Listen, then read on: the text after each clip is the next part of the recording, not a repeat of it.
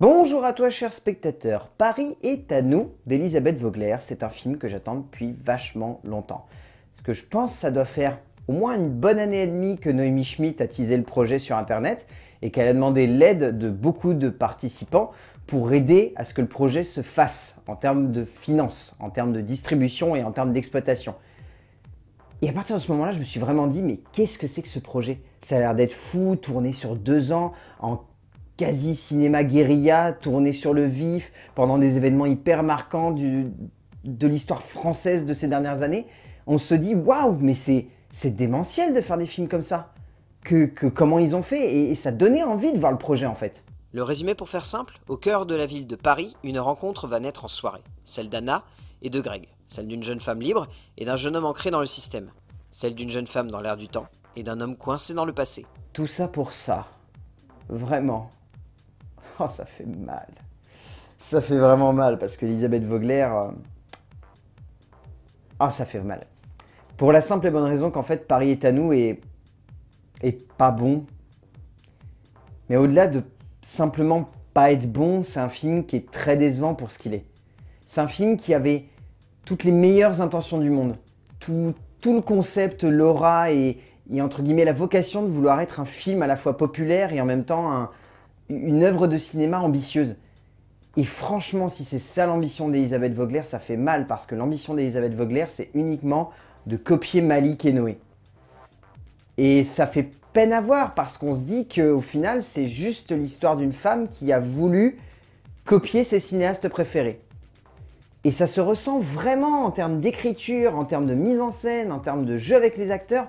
C'est quasi de l'identique. Et si vous avez vu les derniers films de Malik et les derniers Noé, surtout Irréversible, je pense, et eh ben vous allez vous dire mais que c'est vraiment tout calqué par-dessus. Les effets stromboscopiques, les jeux de mise en scène, la narration en voix off qui passe par-dessus des éléments un petit peu d'onirisme poétique, c'est la même chose que ces deux metteurs en scène. Et ça fait vraiment de la peine parce que le projet était hyper ambitieux, ça donnait envie et au final, c'est un véritable pétard mouillé.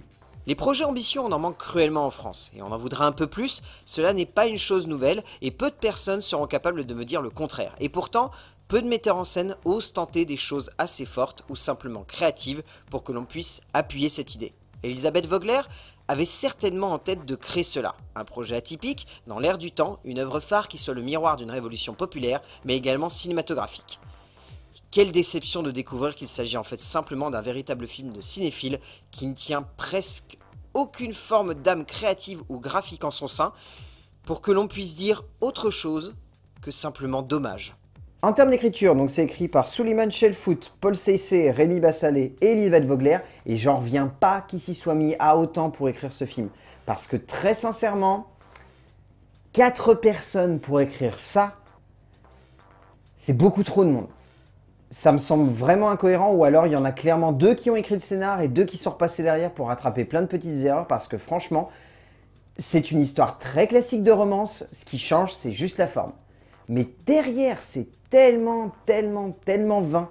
C'est un film qui veut porter des réflexions autour de la manière avec laquelle la jeunesse regarde le monde d'aujourd'hui, ce qui est une idée très intéressante. Le seul souci, c'est que ça, c'est quoi? C'est quelques minutes éparpillées au milieu d'un métrage dont le scénario cherche vaguement à construire une dramaturgie qui se baserait sur comment deux êtres qui s'aiment plus que tout vont se retrouver à se séparer et se retrouver dans un contexte parisien et français qui va les inciter à ne pas se retrouver.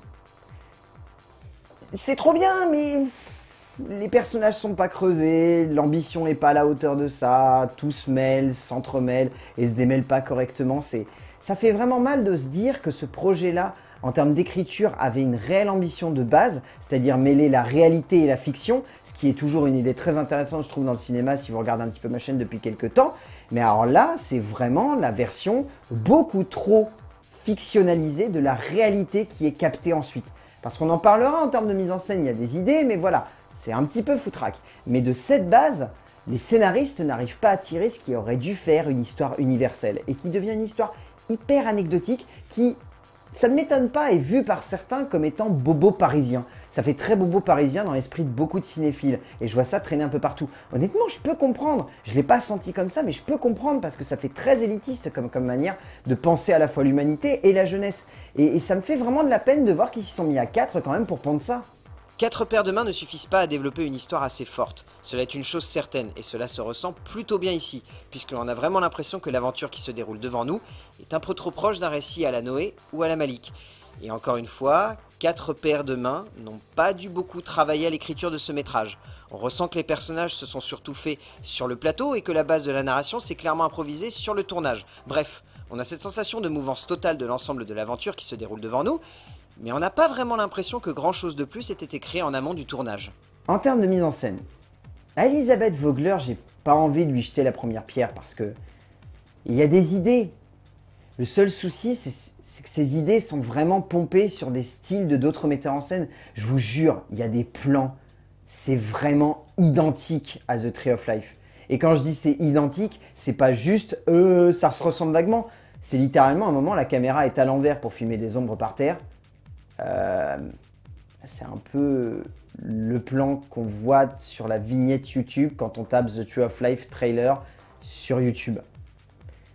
Et il y a plein de petits trucs où c'est comme ça exactement pareil. Il y a des séquences où ça fait vraiment penser à Night of Cups. Il y a d'autres séquences où on a l'impression de se croire dans Sang to Sang. C'est flagrant de voir qu'Elisabeth Vogler a vraiment pompé des références qui étaient pour elle hyper importantes. Et en soi, c'est pour ça que quand je dis que c'est un film de cinéphile, c'est pas forcément péjoratif. Ce qui est péjoratif, c'est ce qui en sort derrière. C'est ce que la cinéaste a décidé d'en faire, c'est-à-dire de ne pas chercher à, entre guillemets, faire un clin d'œil. C'est par moments quasiment du plagiat. Et c'est ça qui fait mal au cœur, c'est de voir qu'Elisabeth Vogler, il y a une ambition, il y a une idée, il y a quelque chose de clair dans ce qu'elle veut faire. Ce qui ne marche pas, c'est la forme et la manière avec laquelle elle choisit de mettre en forme son récit. Et à partir de ce moment-là, je ne peux pas cautionner une cinéaste qui décide de uniquement plagier des auteurs alors qu'elle aurait pu les transcender, leur donner du corps et en faire des vraies références et pas uniquement des noms cités comme ça. Vogler n'est vraiment pas inspiré. Je suis désolé de le dire aussi directement et ça me fait mal parce que les premières images étaient réellement très ambitieuses et semblaient proposer une œuvre en dehors de tout ce que l'on a l'habitude de voir aujourd'hui dans le cinéma français. Mais en fait non. On a déjà vu cela chez Noé dans la manière de jouer avec la plastique et le mouvement du cadre. Et alors là, par moment, on a presque l'impression que la cinéaste est en train de simplement plagier le travail de Malik ou de Lubeski. Au cœur de plans rappelant un peu trop l'esthétique brute et intense de The Tree of Life. Et franchement, dans ce genre de moment, cela fait presque peine à voir. En termes de casting, je trouve pas qu'il y ait beaucoup d'acteurs qui ressortent plus que ça. Forcément, il y a Grégoire Isvarin qui ressort parce qu'il est très très bien dans le rôle de Greg, même s'il n'est pas exceptionnel non plus. Euh, Marie Motette est sympathique, mais on la voit pas beaucoup dans le film, on peut pas vraiment juger. Euh, Lou Castel est pas trop mal. Honnêtement, il a un rôle que je trouvais très bâtard au début et finalement, ça marche plutôt bien. Mais après, le film vaut clairement le coup parce que l'actrice centrale, au-delà d'avoir porté le projet sur ses épaules, on sent qu'elle s'est investie physiquement pour le rendre hyper crédible. Schmidt a vraiment quelque chose de fort parce que l'on sent qu'elle a porté le projet en elle depuis maintenant près de 3 ans, et franchement, cela fait du bien de voir une actrice qui y croit autant, même si le film n'est pas toujours à la hauteur de cela malheureusement. Au bout du compte, Paris est à nous, j'ai pas envie de vous dire que c'est un mauvais film, j'ai juste envie de vous dire que c'est une déception. Dans le sens où peut-être que j'avais mis trop de poids sur les épaules de ce film parce que ça fait longtemps qu'on nous le tisse sur les réseaux sociaux. L'idée est là, c'est pas clair. C'est juste clairement pas évident de savoir ce que le film veut faire. Elisabeth Vogler, elle a des idées, mais c'est trop référencé pour sonner comme original. Le style est trop bâtard pour vraiment sonner comme étant un véritable concept, alors que l'histoire est cousue de fil blanc. Ce qui ressort vraiment, c'est l'actrice principale, qui donne tout ce qu'elle a pour faire que le film fonctionne. Et du coup, Paris est à nous d'Elisabeth Vogler. Bah, honnêtement, vu qu'il est sur Netflix, si vous voyez pas grand chose à regarder sur le réseau, bah, essayez. Le film est pas très très long. Mais honnêtement, si vous savez de base que c'est un film français qui va pas vous plaire, ne le regardez pas. Ça serait un peu vain de vous forcer à regarder un film qui est pas très très intéressant. Je sais pas quoi en penser, honnêtement. J'ai pas envie de dire que c'est un mauvais film, j'ai pas envie de dire que c'est un bon film. Je trouve juste que c'est un film qui est pas à la hauteur de ses ambitions et qui arrive pas à être à la hauteur simplement d'une idée de base qui était hyper intéressante et qui au final s'avère être assez vaine. A plus